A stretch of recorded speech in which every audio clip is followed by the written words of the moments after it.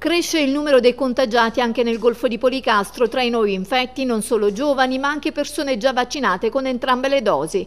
Dopo Sapri e Vibonati a non essere più covid-free è San Giovanni a Piro. L'ufficio postale del capoluogo è stato chiuso dopo la positività di un dipendente residente a Sapri. Dopo l'intervento di sanificazione è stato riaperto. Tre contagiati sono stati riscontrati nella casa comunale, positivi tre volontari del servizio civile. Ora si è in attesa dell'esito dei tamponi effettuati i suoi contatti di caso, dai quali potrebbero venire fuori altri contagiati. Il sindaco Ferdinando Palazzo ricorda che il vaccino è l'unico strumento per fermare il contagio.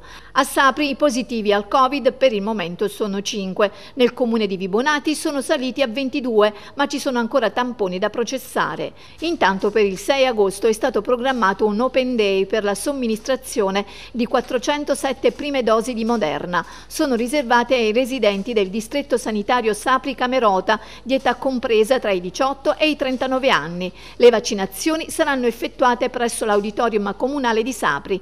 È necessario prenotarsi alle mail po.sapri.dirsan-aslsalerno.it. Tra i comuni del Vallo di Diano alle prese con la nuova ondata di contagi c'è Sassano, dove si registra il maggior numero di infetti, sono saliti a 25. Per tentare di bloccare la diffusione del virus, il sindaco Domenico Rubino ha firmato l'ordinanza con cui vieta fino alla mezzanotte di domenica prossima, 8 agosto, gli eventi musicali e gli spettacoli sia all'aperto che al chiuso e l'accesso nella villa comunale a Silla.